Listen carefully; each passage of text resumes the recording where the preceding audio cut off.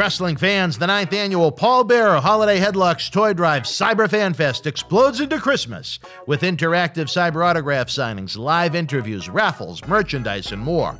We were excited to bring you a wrestling event here in Boston, but we have the ability to bring a Cyber Fan Fest to great fans like you around the world. Recent WWE NXT Cruiserweight Champion Lio Rush kicked off the drive with autograph photos and posters still for sale online. Let's run down the list of remaining cyber autograph signings where you can get an autograph photo for yourself or to give to a friend or a loved one this holiday. Mail order for your items is also available. On Survivor Series Sunday, November the 22nd, Marty Jannetty will be with us live for a cyber autograph signing during the Farewell to the Undertaker. You never know what to expect with Marty in studio live.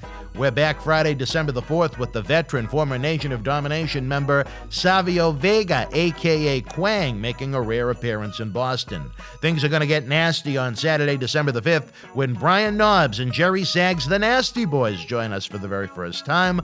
A great chance to get the former WWE and WCW Tag Team Champions signed. Sunday night, December the 6th, WWE Hall of Famer Mr. USA Tony Atlas returns for a Cyber Christmas party during our NXT Take Takeover Watch Along. Tony will be signing autographs and will also have his art available for purchase. The following Friday, December the 11th, one of the most powerful superstars in wrestling history, the Warlord, joins us live in studio discussing his WWF run beginning in 1988.